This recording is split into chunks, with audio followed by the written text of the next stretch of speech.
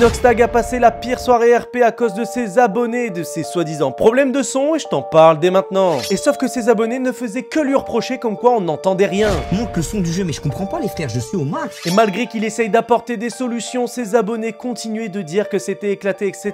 Et il en pouvait plus, et il essayait pourtant. Bon bah s'il vous plaît les gars, arrêtez de spam, parce que sinon c'est chiant. Mais il y avait rien à faire, il y avait toujours des gens qui se plaignaient même après une heure de live, et là il a pété un câble et regardez comment il a réagi. Mais les gars, je- vous vous, vous avec le son, je comprends pas. Depuis tout à l'heure, ça fait une heure, vous me dites c'est bon, après vous me dites non. Les gars, j'en peux plus du micro, frère. Ça m'a saoulé, frère. Je, je me mute, c'est bon. Les gars, je comprends rien. Je sais pas ce qui va pas sur mon live. En fait, Vous, est-ce que c'était si dérangeant que ça? N'hésitez pas à me le dire dans les commentaires.